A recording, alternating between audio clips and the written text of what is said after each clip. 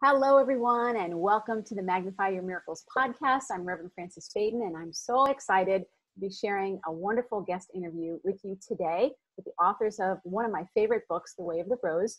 But before we get started, I got to always do what we always do. We're going to take a few deep breaths together and just get ourselves grounded and centered. And remember, if you're driving, please keep your eyes open, but you can still bring your awareness to your breath. And just give yourself permission to be here in this moment because we know that the now is where the divine dwells. And go whatever happened before, whatever might be happening afterwards, and just preparing ourselves to receive this inspiration today.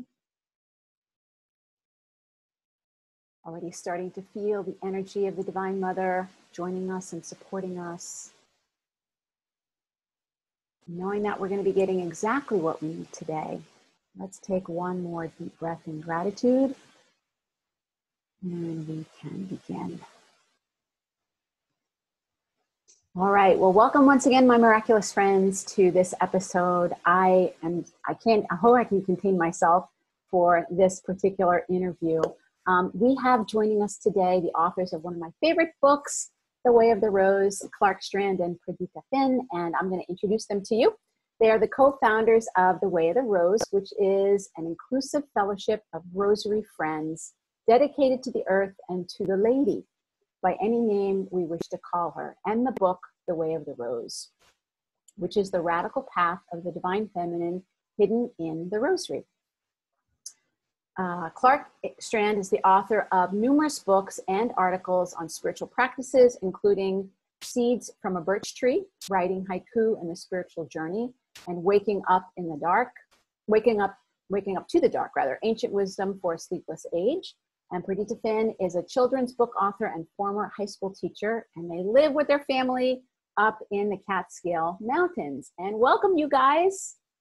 Welcome. Welcome. Thank you. Thanks for having us on the show. Oh, thank you so much. I know uh, you have a lot of different things going on right now, and these are very interesting times. So um, one, of the, one of the things I always ask my, um, my guests is since this is the Magnify Your Miracles podcast, what your definition is of a miracle. How do you guys relate to that word? Hmm. Well, Our Lady has said that a miracle is the most natural outcome of all, the most natural possible outcome.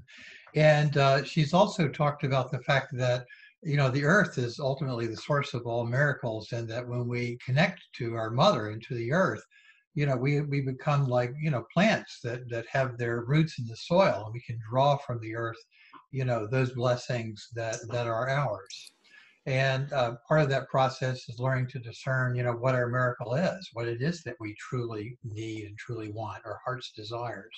Our lady has said she has planted she has put a little bit of soil in everyone's heart and a seed that's just waiting to grow. But in a very practical terms you know, we can engage with the miraculous, and we have let go of the realm of the miraculous in modern life. And a lot of what we want to do is begin to create that belief sphere that allows us to recognize and call forth miracles in our lives. Uh, Clark and I were very fascinated when we wrote The Way of the Rose in medieval miracle books. Yeah. Uh, one of the ones we write about is uh, in one year in a, remote outpost of the Dordogne called Rocamadour, a scribe wrote down the miracles of the Black Madonna there, the Black Madonna of Rocamadour, for one year. There are hundreds of miracles. And they're fascinating because what do people what are people praying for? Well, sometimes they're praying because the, me- the medicine doesn't work. Heal me. There's no more hope. The doctors can't fix me.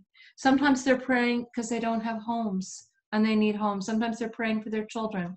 They're praying because they're in prison. Yeah. They're praying because there's no food. They're praying because they can't get the fires to stop. Or they're they praying for simple things. There's one story where a woman loses her starling and she prays for it to come back, right? She has a pet starling. And apparently her servants were so irritated at her whining about the starling that they too began to pray to Our Lady for the starling to return. Whereupon the starling came back, and the whole team went to Our Lady of Rocamadour to say thank you. I mean, th- these stories were like the popular literature also of their days. Some of them were actually quite funny, and, and a lot of them are like adventure stories. Uh, but uh, but they're, they they give us a real a sort of cross section of medieval life, and they tell us two things. One is that people were open to the miraculous; they expected yes. the miraculous. And the other is that the, the, the, the, number one performer of miracles during the Middle Ages is Our Lady. Uh, God and Jesus are very rarely mentioned in the miracle stories. They, they have a completely sort of, you know, uh, they're off stage most of the time. Occasionally they'll make a cameo appearance, but that's it. Our Lady is the one with feet on the ground and hands working in every possible dimension to make things happen. And, you know, we have a miracle book for the miracles of Our Lady of Woodstock as well that we're adding to. Just today, we do an ongoing novena practice with the Way of the Rose. And in the middle of that practice, it's, it's over the course of two moons. And at the end of the first moon, you're expected to be grateful for your miracle. Have people experienced miracles? I said yeah. today. One woman said, My son just got into detox. Yeah. A natural miracle. But if you're a mother praying for that miracle, it feels hopeless and impossible. And when it happens, you know how huge it is. Yeah. You know, and and sometimes we've seen people pray for love. We we had a woman pray for a child. We we've seen people pray for homes who didn't yeah. we had a woman who was homeless yeah. was praying to find a home we had a woman who'd lost her child who prayed to know that her child was still there and the next day received a sign. Wow. Wow. And, and these are the miracles because Our Lady is a generous mother. Yeah. But we have to ask. But we have to ask. I know that's the thing. It's like you have to ask. Absolutely. I, I, I love that. And, and the thing is, once you ask, though, you're just you're in that energy of of oh. uh, it's even more than protection. It's like i don't even know what to call it. It's like our lady of guadalupe says under under my mantle in the folds of my in the folds of my shawl. It's like it's this energy of of i don't even know what to call it but it's so you're in the madonna wonderful. zone. Yeah in the madonna zone totally. And that's and, kind and of go ahead. people get scared that when they pray for something the universe is going to play gotcha. That's right and make something bad happen that they're going to somehow yeah. ask for something that's bad for them. People are very superstitious about prayer we found and at the same time they doubt prayer. So the same person who will doubt that their prayer will be answered will also be very superstitious in the beginning and they'll say something like well what if i pray for the wrong thing? Like what if i pray for the thing that's actually going to keep my real heart's desire from manifesting and Our Lady doesn't work that way. She meets us where we are. She's a good mama. She's a good mom. Yeah. You she once said that when a when a child is learning to walk, the mother doesn't particularly care where he's walking because walking, learning to walk is the point. Nevertheless, she will keep him from stepping off a ledge. Right. Right. Absolutely. Absolutely. So we're learning to walk when we begin praying for our heart's desire. We we don't have to know where we're going really in the beginning. The whole point is to is to connect with with with our hearts and connect with our lady. I love that. You know i did i did your novena the last for the first time i actually did the 54 days starting mm-hmm. and i think it was february. Um, and i had the same thing of like what, what is my heart's desire? And i just said you know what? You know what it is. I'm just going to keep praying and just trusting it and things were revealed to me that I never would have asked for that I think I thought were not possible. Mm-hmm. And in such a sweet way, she brought things into my experience that were just miraculous. They just are. Absolutely. Wow. I, the things I have seen have been astounding. I yeah. mean, you know, I mean, I saw a woman in a bad marriage finally find the courage to pray for a divorce. Yeah. And I saw her pray through getting a lawyer. I saw her pray through claiming her self esteem, through healing her relationships with her children. And then I saw her pray for love. Mm. And, and, she got, I mean, yeah. and to watch, I mean, this was a six year process of prayer. Yeah. I mean, I think sometimes when we talk about miracles, we think that it's going to be like a vending machine. Yeah. Right. We're going to put in we're going to put in our quarter of prayer and the candy bar is going to come out. Right. And in fact what's going to happen is we're going to turn around, walk down the hallway and walk out into the door into a new world. Yes, And Yes. it's going to unfold in front of us. absolutely. Absolutely. So for And her- people, go ahead.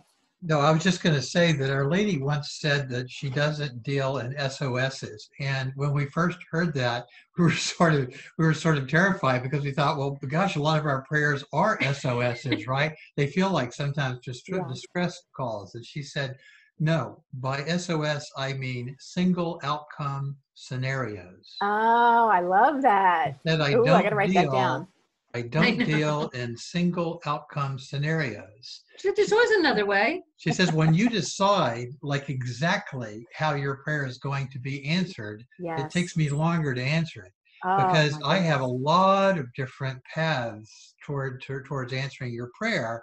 And all you have to do is is state your prayer, form your intention, and then just put one foot in front of the other. She said, I will lead you Yeah. to the answer to your prayer. But it may not, the pathway may not be as straight as you think it is. It may Right. take you on a journey. Right. Absolutely. Absolutely. So just so that everybody who hasn't read the book, we can catch people up. Um, I want you guys to share because you know, Clark, you're, you had a Buddhist background, and I know you're very much a feminist. And like, how'd you guys find your way to the Rosary? Like, just just share with people. just Well- share with people so they have an idea of what we're talking about. It's taken three books to I know. explain this. I know. I Clark know. wrote one book, Waking Up to the Dark. Then we wrote Way of the Rose together, and I'm finishing up my book, which is called Take Back the Magic. But so we'll try to give you the summary Yes, version. please. Clark left we, Buddhism. Neither of us was raised Catholic. yeah. Right. Yeah. I was raised by Bohemian atheists. Clark was raised by Southern Presbyterian Episcopalians. Yeah. Okay. We both, through a series of journeys not dissimilar to many people's, ended up in Buddhism. Right. which we both, when we became young parents, were quite dissatisfied by. And um, also, Clark had been the editor of a Buddhist magazine and was Right. documenting both the sexual and financial scandals yeah. in Buddhism, and we were sort of seeing it up close. Um, and I found myself as a young mother looking for a spiritual home Mm. unable to find one. And because wherever I went, whatever whether it was a Christian community or a Buddhist community, I ended up in the back room with everybody's kids. Right. And somehow always what happened to me. And I was sort of like, this is kind of the game in town, but I, I feel taught very marginalized. She's taught every every imaginable form of Sunday school, Zen Sunday school, Episcopal Sunday school. The list goes on. I'm not even on. Christian, and they put me in charge of Sunday school. and but but what I but so eventually, uh, one day we're taking our little daughter to the Episcopal church, and she said, "Oh, hey, Jesus," and that was it. We turned the car around and we came home. He said, "That's it. This is not the point." and for reasons it's taken three books to explain, I started praying the Rosary, Yeah. which is the prayer of my ancestral grandmothers. I'm, you know, Irish, English, French, Polish. Right. Right. and i i was embarrassed that i was praying Mm. at francis but i loved it Mm. i taught myself the hail marys and the our fathers i the children would fall asleep with me at night and they would be playing with my hair holding it and i'd be Mm. holding my rosary and i took as my zen koan you know that zen riddle that's supposed to untie the knots in your soul yeah. Mother of God. What does that mean, Mother of God? What ha- what happens when we take the biggest concept in the universe and give it a mama? And that became a very private practice. And I thought, I'm never going to meet any non-Christian ex-Buddhists who want to pray the rosary with me. Not even my husband wants to do it with me. and so here I am in this very private experience. And then on June 11th, 2000, June 16th. June 16th, 2011, everything changed. Yeah. So I, you know, actually taught Perdita how to pray the rosary because I had just learned it on a whim after Right. trip to the Taos, New Mexico, where I ran into statues of Our Lady of Guadalupe everywhere I went. So I learned it, but I quickly discarded it because you know it, it was just like everything else I was doing in those days. When I stopped being a, a Zen Buddhist monk, and you know, I, I, became sort of spiritually promiscuous. Like I just tried everything. I would yeah. study. You said I would study with rabbis and you know and uh, imams and you know just you name it. And um, so I learned the rosary. I taught it to her. She kept praying, and I quit it after like two or three weeks. She kept for years, like 12 years. and uh, but then, uh, you know, 12 years after I first learned it, um, I, you know, I'm in the habit of getting up in the middle of the night to go out for a walk, and I was getting up for my usual walk. This is the subject of uh, the first book of the Way of the Rose trilogy, which is waking up to the dark. And I had my hand on the doorknob, and I was about to go out when a voice said, Don't go out tonight, stay inside and be very, very still, which I did. And I, you know, I've been a Zen monk, so I knew how to meditate. So I got into that sort of meditative place. And after 40 minutes, I felt her presence. I opened my eyes, and there was a girl of around 17 years old with uh, close cropped auburn hair, uh, hazel eyes, uh, sort of a roundish moon like face with freckles around her nose, and an X of black electrical tape over her mouth. Mm. And uh, her eyes were very, very urgent and very pleading. And I've been taught as a Zen monk, and I, in fact, as a Zen teacher, I taught people this as well that these kinds of experiences are called makyo or illusion. So you just stare them down. So I was just ready to stare her down. And I stared at her for all of about five seconds and thought, you win. no contest in this scenario, you are far realer than I am. so I, you know, uh, you know, I give up. So I reached out and I, I pulled the tape off her mouth, and I could actually feel the resistance of her skin against against wow. the tape as I pulled it. And she gasped. There was a sound like described it in, in Waking Up to the Dark as a sound like air rushing into a crypt that had been sealed for thousands of years. Wow. It, was, it was a sound that was much too big for the size of her body. And then I started to ask the obvious question, which is, you know, who are you? And uh, but she just shook her head, and like nothing could be said. So, you know, I always joke, you know, and then what happened? Well, what happened is the Zen monk part of my brain went out again, and I just shut my eyes. And in fact, 40 minutes later, when I opened them up, she was gone. So, mm. but I woke up the next morning. I turned the whole house upside down looking for the tape. Could yeah. not find it anywhere. Yeah. And she she has been uh, at my side, you know, for nine years now. Ever since, she's never absent. I don't always see her, but yeah. she's always her presence is always there.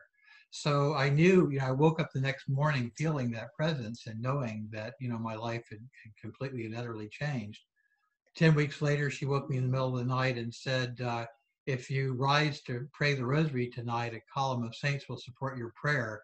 And that's when I finally admitted to myself what I had suspected all along, which is that, well, who else can this be? She's asked me to pray the rosary. Right. So at that point, I really knew, even though she didn't look like the Virgin Mary, that was who I was talking to. Yeah, and that that's I love that story. I mean, oh my God, it's just I get chills every time I read it or hearing you guys. It's amazing. And one of the things that I love with your work is that you refer to her as Our Lady. I call, for me, the God the energy is divine mother that's what i say. Mm. but she she manifested for me specifically as mother mary and i grew up catholic so even though i'm an interfaith minister and i don't relate to all the catholic stuff. Um, but that's what i say but i always tell people if i was in china she might be kuan yin. If i was in india you know it might show up differently. Um, and so for people to understand that um, for you guys like this this whole thing it predates christianity really who is our lady? And i know that that's a big part of your your message about why she came to you specifically and, well you know we got now. needless to say um, fascinated by apparitional experiences and began reading about them for the first time in our lives. And two things became clear. The places she showed up were very very old.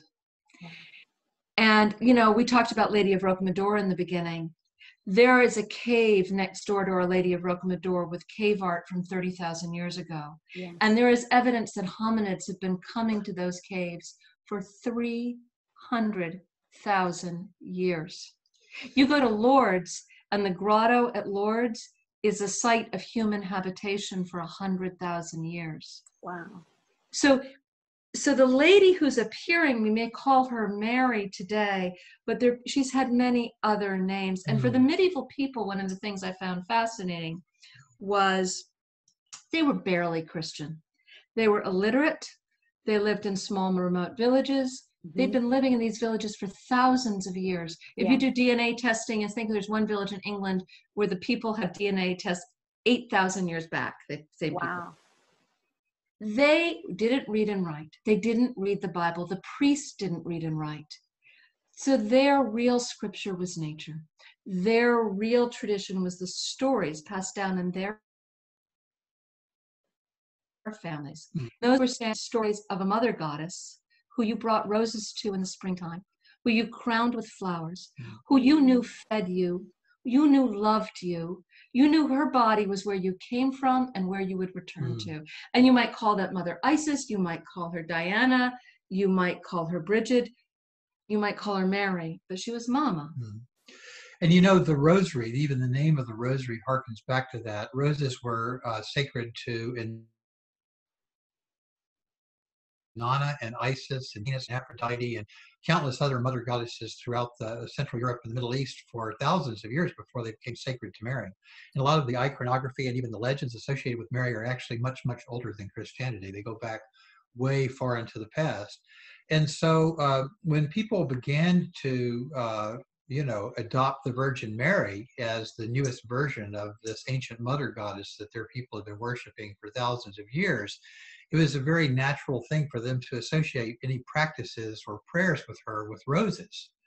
And so the rosary really originates in, you know, two practices coming together. One was a kind of a monastic type practice where people would say Ave Maria, gratia plena Dominus tecum, right? Hail Mary, full of grace, the Lord is with thee. And they would bow before a statue of the Virgin Mary. Mm. And then there was this other tradition whereby people in villages would weave crowns of wild roses every spring and all summer long, as long as they were available, and place them on the heads of the of the statues of the Virgin Mary in their local churches. They were crowning her as the as the mother goddess who renews the land in spring. These two traditions came together, and starting around a thousand years ago, you begin to hear the same legend told over and over again about a young boy who who loves to weave these crowns for the Virgin. He loves them so much he thinks, I'll just become a monk. So he goes to the monastery and he's given all these duties to perform. And the priests say, No, that's a pagan ritual. You can't offer the crown anymore. So he says, Forget that. I'm leaving. And as he's leaving, the Virgin Mary appears to him and says, No, no, no, don't worry. The world's changed. Uh, we'll improvise here. I'll teach you a new way. Mhm. You can say Ave Marias to me and in that way, you're weaving a spiritual crown of flowers for me. So you can stay here if you like. And you can weave your crown for me by saying Ave Marias. So in every legend, the boy starts to say the prayers, and actual roses come out of his mouth. Oh, wow. Isn't that Oh, a wow. wonderful story? That- that's So the rosary story. is born from the sort of collision of those two traditions, one Christian and one pagan. So they become a, you know, kind of a hybrid or an amalgam. But the result is that the mother goddess gets smuggled into Christianity, right under, right that. under the priest's noses. I love that. Well, I have to say, so we're recording this, even though it'll be released later, we're recording this on the feast day of Our Lady of Fatima. And you guys probably know another name for Our Lady of Fatima is Our Lady of the Rosary. So I don't think it's any coincidence that we're talking about uh, the rosary and the power of that. Can you guys explain to people who may not have been raised with any, might, might not even be Christian, because Mother Mary, whenever she appears, she's always encouraging us to pray and specifically pray, pray the rosary. But how how can you do it if you're not from that tradition in your Well, experience? here's, I think there are two answers to that. One is Our Lady has, since she started showing up, she started showing up a lot after 1830, and we write about this in the book. Yeah. And she has a tendency to show up just before things go a little south, Yep. whether it's the 1918 flu, Yep. whether it's with Fatima. She shows up right before the flu strikes. Yep. um, whether she shows up in Rwanda, in Kibeho, just before the genocide, she Yep. shows up in Bosnia, just before the massacre at Medjugorje. She has a tendency, even, and you know, we write a lot in our book about Guadalupe. She shows up in the midst of the worst genocide on our planet, which was the destruction of the Americas by the European invasion. Yeah. And she shows up and she always says the same thing hold my hand. Mm. She doesn't say, she says, I can get you through this Yeah. if you hold my hand. Yeah, And the best way to hold my hand is the rosary. yeah, And one of the things that's really interesting to me, Frances, is that people have been making rosaries for as long as we've been human. Yeah. Beads are one of the oldest items we find in the archaeological record. 70,000 years ago, there was a volcanic eruption called Mount Toba, and it plunged the whole planet into a climate emergency. And uh, most of human beings on this planet were obliterated. Wow. Most yeah. it was it was a scale of destruction beyond our imagining and what did people do they started making beads Yeah. Mm. Wow. beads and beads are very interesting because they take a lot of time to make Yeah, they don't have any practical value, like, you know, why make a bead why when you're in the midst of something very very frightening would you want to make a bead and what we often ask people to do when we were in person is we'll actually hand out beads and give everybody a bead to hold and say start rolling it between your fingers and i'd invite your viewers to imagine rolling a bead between your fingers and see how it begins to make you feel internally Mm. many people will say it starts to calm them down right. Yeah. And one of the reasons for that is if you look at a bead, imagine the bead with the hole for a string to go through it. It is a nipple. Mm. And our first gesture as human beings for comfort is to reach for our mother's nipple. And that's where our food comes from, our comfort, our sense of protection, our sense of connection and consolation and so our gesture as as apes is to hold onto that nipple Mm. to be fed and held And so we as a species began making beads Mm. and our lady says hold on to me There's one of my favorite uh, uh, Maria Lactans paintings uh, uh, comes from uh, uh, the South American tradition.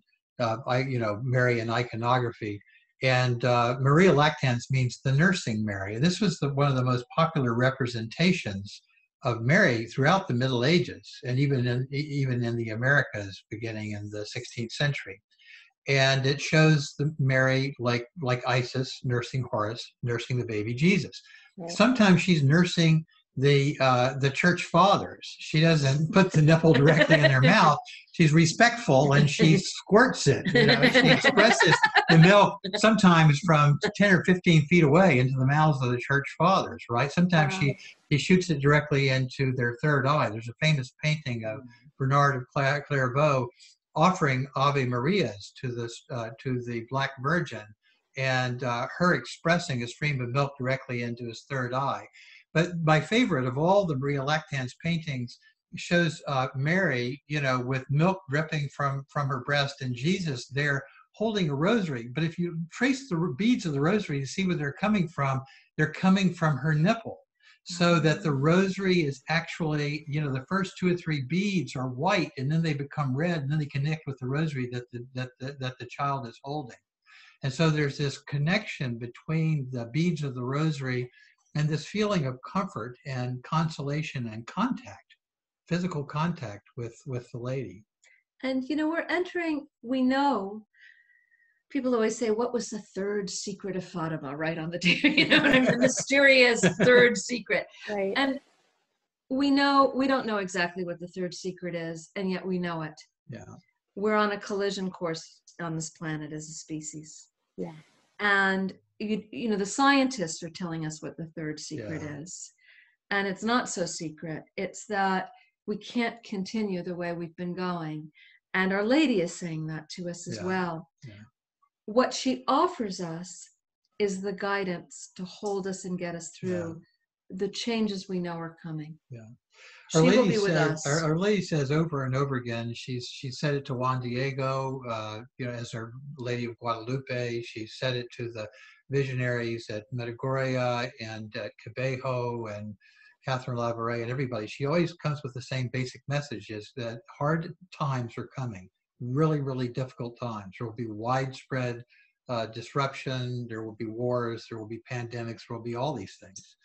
And um, you, you are, if you want a path through those, if you want to be able to negotiate your path through those difficulties, hold my hand and what she means by that is the rosary. I mean, she she's always saying this and giving people the rosary and saying, "Here, pray this. Hold this in your hand. This is like an umbilical attachment, right? This is like mm. holding the lady's hand."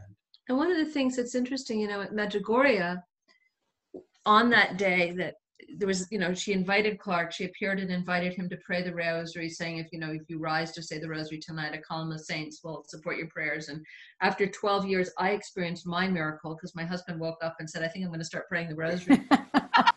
really? I might add that I now have thousands of friends around the world to pray the rosary with. And for 12 years, I've held that prayer. I said it's impossible miraculously, wherever I go, there are people who want to pray the rosary. Got about now. a thousand of them are lapsed Catholic ex-Buddhists. so, just like you. so, so a lot of prayers got answered that mm. day. But we went into this funky little bookstore. We were on vacation, and it was mostly spy thrillers, you know, and yeah. romantic novels. Used beach crowd. Yeah. But there, sitting out on the main table, is a book, Queen of the Cosmos: Messages from the Visionaries of Medjugorje. Mm. Clark opens it up and it says a page at random, and it says the the interviewer says. Uh, uh, is the rosary recommended for everybody on earth since it's such a distinctively Catholic devotion? And uh, the visionary says, Yes, Our Lady has said, has invited everyone on earth to pray the rosary regardless of their religious belief or background. Right? But it was, but I think the problem with Medjugorje is it happened in a very Catholic context. Right. It was, and I, you know, I, what I keep thinking is, oh, she appeared to us because we are outside of the church. Yeah. And it feels like it's our job to bring the rosary to people. But we're already outside the church, so it's e- easy for us to say, yeah, yes, you can pray the rosary as a non-Catholic because neither of us are Catholic, and I wasn't raised Catholic; she wasn't either. But so, but if you're of European heritage or ancestry, yeah, all of your ancestors prayed the rosary and it unless wa- you're jewish unless you're jewish yeah. yes yeah. um and it would it would be their it would be your indigenous heritage yeah and it would it would take you back to the people in those villages who and their devotion to the great mother and with all the intermarrying honestly you know most people i think have an ancestral heritage if they go back far enough some sort of ancestral heritage that connects, if not to the rosary, then to the Great Mother in some other way. And you find it in Judaism too. Asherah was God's wife. Yes. Yes. You know, somebody asked me, you know, we have a lot of Jewish people praying the rosary in our group, and one of them uh, said, you know, I really want my mother to pray the rosary, but I don't know what to say to her because she's Jewish and all that. And I said, well, what's the problem with uh, with uh, your Jewish mother praying a devotion that's dedicated to another Jewish mother. Exactly. exactly. But that's whenever people say, why, why would Mother Mary, like, why would she come to me? I'm not Catholic. She always says, neither am I. neither am I. I love it. Yeah. Um, I, I, wanted to share something um, with you guys that, and also with, with the listeners um, about your book. Your book is so helpful because I think it answers so many of the questions that we're asking today about the rosary, about the Divine Mother, about the whole process, how to make it your own.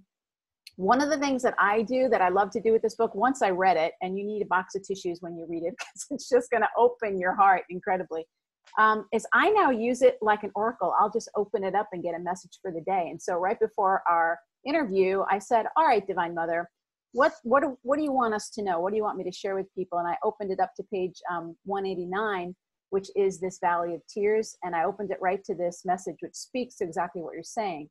There is one delusion at the bottom of human experience today the belief that you live in a motherless, comfortless world. This is the source of all other delusions and the cause of all unhappiness. And that's exactly what we're talking about right now. And with everything that's going on in the world, what do you guys really want to share with people about about what's happening, about about the rosary? What do you want them to know? What can they take away? Well, I think one of the things is we've been in charge. We've we've imagined we were in charge for a long time. Right. And how's that working for us? exactly. and you know, there is uh there's an old adage from AA that says our best thinking got us here. And that Right, means in the room of an A of a 12 step program, you know, and it's and that delusional thinking of the addict, you know, that you know, just a I, just a little finessing and I'll get my addiction just right. And that's the way as modern people we are in relationship to our culture and to our technology. Yeah. Our Lady has come right now and showed us what we need to do. Mm. She is even now showing us that our way of life Mm. has to change.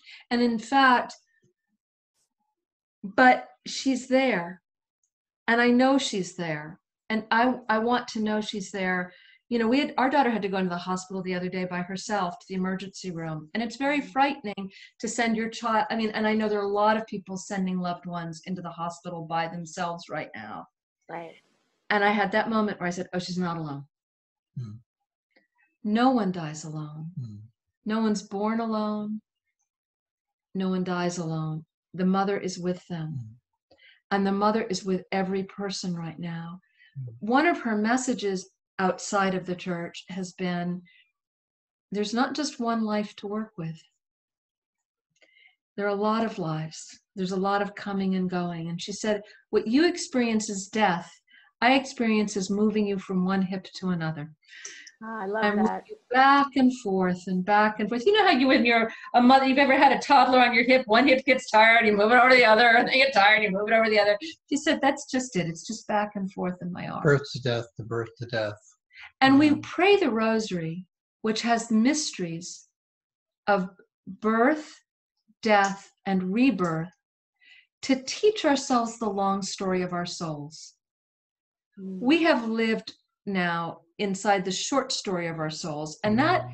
Clark sometimes says, you know, the Bible is a thought experiment that shows us what it's like to live in a, s- the straight line of a single story.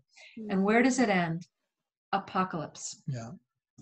But the rosary doesn't end with apocalypse.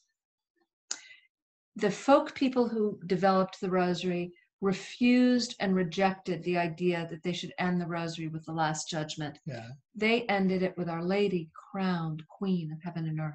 Mm. That's what heals us, that's what saves us. Right. If we let her be in charge of her own body, Hmm. if we let her make the choices about what she wants to do and what's Yeah. good for her own body, we'll be protected. You know, Frances, you you mentioned the current, you know, pandemic and you know all the disruptions and everything. Our Lady has, uh, as Perdita mentioned, she tends to appear uh, anywhere from you know three or four to twelve years prior to an event like this. And Our Lady has, has suggested to us that this is the first of many many events. Uh, as she hasn't come this time just to guide us through one event, but through a series of cascading events Right. over the next few decades. And uh, so this often happens. And uh, very early on, she will typically communicate that this is the case. Uh, Perdita mentioned her waking me up one night, and you know, I guess 10 weeks after the initial apparition, and said, If you rise to say the rosary tonight, a column of saints will support your prayer. I started saying the rosary. I would wake up every night and do that when we were on vacation on Cape Cod. The night before we left uh, that year, this was this uh, summer of 2011, just shortly after the apparitions, she woke me and she said, um, It is all right to destroy the things you seem to love, but secretly hate. In fact, Mm. may be necessary to do so. And I was very chilled by this. And, and she said it very sweetly and very softly, but the words were chasing. I couldn't imagine what those things were. The very next morning we woke up, the first thing we heard on the news was that there was an enormous hurricane headed right for us. So we got off of, you know, we, we got off of Cape Cod as fast as we could. And we got home to Woodstock. Well, it, it jumped its groove and didn't strike Cape Cod, it struck Woodstock and knocked the power out for two weeks running. There were local people who died in, in the storm. People lost their houses. It was just a, a huge collapse. locally. But that was sort of, I think, for me, the wake up call. I was thinking, oh, right, like the town to the north of us has had five hundred year floods in the past 20 years, right? Five. And, you know, we, we had, Perdita and I were very educated about climate change and, you know, we, we study ecology. My brother is an evolutionary uh, geneticist who studies uh, uh, species populations, and he's been predicting mass extinction for a long time. So, you know, we were, these ideas were not new to us. So when we hear about the 10 secrets of uh, the visionaries at Medjugorje that Our Lady revealed to them, you know, our first thought was, well, I wonder if they're the same secrets as our environmental journalist friends have been telling us about. Wildfires you can't stop, depleting aquifers, you know, uh, uh right. uh, you know, antibiotic resistant bacteria. The list goes on and on. We we have painted ourselves into a corner as a species, and you know we have to wake up to to the fact that we live uh, in collaboration with a lot of other beings on this planet and share the planet with them. You know, when Our Lady of Guadalupe appears to Juan Diego, you know that is an incredible moment, and, and the the image of our, the Virgin of Guadalupe is so familiar to people. Here she is, this young woman. She's pregnant. She appears pregnant to him, and it's a sign. She says, "You're in the midst." Juan Diego would have been 18 when Columbus landed in Hispaniola he has seen for his whole life violence we can't even imagine. I mean, right. he's seen his people slaughtered, tortured, their temples razed. He's seen people he loved raped and pan- murdered. And pandemics that are so so much that aren't even on a scale with what's happening now. They're so far beyond our ninety percent of the people being dying, and yeah, and and and Our Lady appears to him and says, "Am I not here, who am your mother?" And it's this incredible moment. She appears both as Tonantzin, the mother goddess of the Aztecs, mm-hmm. and Mary, the mother goddess, which is what she's always doing. Yeah. Right. Try, just try to keep me out. you know, I don't care what you call me. I'm mama and I'm here and I've got you. And she also appears, you know, there's a beautiful writer who said, you know, there were so many young women who'd been raped by the Spanish soldiers, and here they are, these just horrified to be carrying the children of their oppressors, and yet there's their mother also pregnant, also saying to them, "You're going to survive. Your people will survive. Yeah. We'll get through this together somehow." And it doesn't mean life is going to be rosy and easy but it means that you, we're going to get through this. Our souls are going to get through this with her. And we're all going to learn how to be with her. And at the end of one of the last messages in the book, the book is filled with her messages. She gives a formal message on the 16th of every month, still today. Oh, I didn't know that. Wow. And she, we post these on the Facebook group and on the website. Um, all of her messages are available for everyone on the website to read. Um, but uh, she said, I would like everybody to become a mother, men and women, young and old. The living and the dead. The living and the dead. Yeah. Join me in being a mother in the world. She says, We are all one mother of the world. We are all one mother of the world. That, and, that is her core message. And it's an invitation to us in these moments. And we're seeing how wonderful it is. I mean, when we see the courage of so many people today, the courage of our healthcare workers, the courage of the courage of our postmen, the courage of you know the people who show up to work in the pharmacies and the grocery stores they are behaving they're filled with that courageous heart the heart power of the lady. It's what it really means. Mm and she invites us into that courage. I love that you know i i also um, study a lot with the apparitions and the messages and all of that and i was really struck by one of the messages that you shared on your facebook group. I think you said you'd gotten it in september but she asked you to wait until april. Um, and you know like you know medjugorje and all that you read them and you're like okay kind of sounds apocalyptic. Like there's really no you don't have like any context for it. But right. when you shared that post about, and the streets will be empty, and I was just like, Whoa! Wow! Now it's like hitting home, and it's really. It was all about the lungs of the world. Yeah, it was all about the lungs of the world and clearing the lungs of the world and, and all of that. But it was about the, it begins with an image of empty streets. You'll look out and the only wind will fill the streets. They'll be empty and you won't understand what you're seeing. And Yeah. let, so let me unpack it for you and explain what you're really looking at. And then she, she elaborates on that. People can uh, go to the uh, website wayoftherose.org uh, and uh, read that message. But she gave that message, I believe, on uh, September 27th of last year. And uh, she said, uh, Perdita said, Is this a message? She says, Yes, but save it. I'll tell you when to share it. Yeah. To be held in reserve. And we forgot about We it. We forgot about it. Yeah. Of course. And then she said, and then she said, And then a few weeks ago, she said, "There's a message that I told you to hold in reserve. It's it, back in the notebooks from last fall. You'll find it." She said, "I told you, but label this hold in reserve." And so we went back through the. Took us like an hour to look back through all the messages. Finally found it. We read it. We went, "Oh my God, yeah, Yeah. right." but we hadn't known what we were listening to. We didn't know at the time. We had no idea what she was talking about. But it, it, you know, it, it, yeah. Um who who can? I mean, that's Yeah. that's the whole point, right? And also you know i sometimes think with the apparitions i mean i've you know i wrote a book with a psychic and i've seen a lot of these things you know water filters through the stone and takes on the flavor of the stone so you know what i mean it you know it's always going to come through the culture of the person who's Right. Exactly. messages Exactly. and the vocabulary and the language and you know i even know like there's the apparitions down in um, georgia where Yeah. right. And she kept saying, "Oh, there's going to be an invasion from China that's going to disrupt America." Well, you know, she was envisioning Right. armies, armies, you know, Right. not a virus. not microbes. Right, Right. exactly. And so Yeah. there's, you know, we don't really know what we're hearing a lot of times. And I think one of the things that our ladies about is we can't really understand. Yeah. She says if you could tell the future, you wouldn't be in this mess. She said this to, to us a number of Yeah. times. So Yeah. so don't, you know, waste your time trying to to tell the future, predict the future. Your job is to is to take one step after another and to trust me at every step of the way. And if you she says if you do that, I can guide you through the challenges that you are about to face.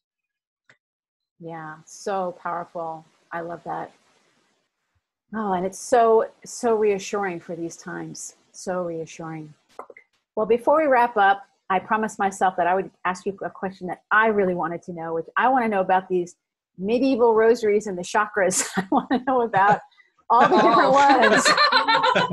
you left us. We could do a whole I episode know, on that. I know, and maybe we will. Maybe we should. But it, do you have a resource for me, mm-hmm. or a book, or I'll something start. I could do to like find? Yeah, Because I'm We yeah. need, just like, to, we ooh, need to. Well, I've I've got a I've, I've got a book Okay, on, on Here's the thing.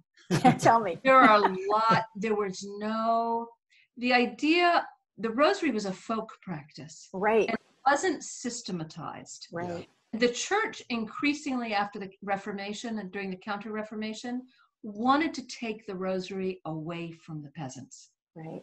they wanted to control it they put the creed on it later they would add the luminous mysteries it was there was always an attempt to take it away from women Yeah. because it was seen as was revolutionary Right. radical. Um, there were a lot of rosaries in the Middle Ages. Clark and I love. We are fanatics about weird rosary lore, and there's a Saint Anne rosary. There's a Saint oh, Anne. yeah. I pray that one. It's great. There's a Saint Anthony rosary. There's a rosary that's dedicated to the seven sorrows of Our Lady. Yeah, Um, yeah. And there's, There's the a Brigittine rosary. rosary. There is, and there's the Rosary of the Seven Joys, which I think is the one you're talking Yes, it about. is. This The Fran- is that the Franciscan one? That's the okay. Franciscan crown. And, Okay. and it, interestingly, before Vatican, the reforms of Vatican II in 1962, Yeah. uh, the the the Franciscan crown was the most quote heavily indulgenced Catholic devotion in the entire church. Like this particular rosary had big juju, right? Like tremendous energy. Like if you wanted to liberate souls in purgatory, if you want, this was your main, this was your main thing, right? And then suddenly the church decided, "Oh, no, this thing is way too powerful. We've given this thing much too much cred. This is, for one thing, it's an entirely Marian devotion. It's about the seven joys of Our Lady. There's no Jesus in it to speak of, right? Right, right. So, you know, they decided it was much too focused on Mary, and Vatican II is trying to de emphasize Mary. And so it told the Franciscans to take it off of their habit, and it stripped it of all of its Wow. indulgence overnight. Wow. So it just vanishes. But if you if you go back and you look at the lore, you what you find is that there must have been some kind of contact between the Franciscan missionaries and Buddhists or Hindus because the seven joys match up precisely with the seven chakras. including the you, colors you're visualizing. yeah, The visualizations are all for each. There's a visualization for each chakra. which are the a color colors of for the each rainbow. chakra. you Yeah. Ah, and So you build seven- it. You build the seven joys of Mary up within you. Yeah, and the I seven joys that. are, are associated with the seven uh, colors of the rainbow. And if you go back and look at paintings of Saint Francis, right, like yeah. conceiving his stigmata from the angel, uh, from the seraph in the sky. If you go back and look at paintings that were painted like within it, you know, uh, maybe uh, 50 or 60 years after he died, if you look at the angels, they're rainbow angels. wow. Yeah, their wings are rainbow colored, Like the rainbows behind you. like the chakra. Yes, yes. I work with chakras with people all the time. That's why I was like, I got to know about the chakras. I got to know that one. So I That's wrote so awesome. A piece on this. we are, are we would love to write a book of nothing but wonky rosary lore. I mean, that's I mean, we want to get people praying it enough that they want to have the extras. I mean, because you can also do you can do the seven sorrows going down Yeah. and then do the seven joys going up. Yeah, and medieval people clearly did this. There was one rosary that Perdita alluded to, the Brigittine Rosary, sometimes called the, interestingly enough, the Corona of Our Lady. Ah, that's right, right. Yeah. So this rosary, you prayed, uh, you prayed the seven sorrows and the seven joys on it. So one day you'd be praying the seven, you'd be set- praying the seven joys going up the seven chakras. The next day you'd be praying the the seven sorrows going down. Yeah. Some people pray the seven joys going up in the morning, and then in the evening is pray the seven joys going back Seven down. sorrows going seven down. sorrows going back down. Wow. I love that. So I really hope that you guys write that book. we do too. This so awesome. Okay, so I'm going to put all this great information on the um, on the show notes, but just to let people know to get in touch with you or to find out more. First of all, obviously, get the book, The Way of the Rose, which is wonderful. It's available on Amazon. You can also get the um, the Audible version of it and listen to it if you like, which is also really really moving. And then there is your website, wayoftherose.org. Is that right? Yes, it Yes. is. And then I highly recommend people get on Facebook and join the Way of the Rose uh, Facebook group. I, I'll just share this really, really quickly that I found you guys. It was very miraculous because, you know, I was like, Mother Mary, what do you want me to do this rosary thing? I know she wanted it, but I was like, I don't really vibe with this whole thing. And one day I said, All right, if you want me to do this, then teach me about the power of it because I don't get it. And the next day, one of your posts showed up in my feed, and I was like, What is this?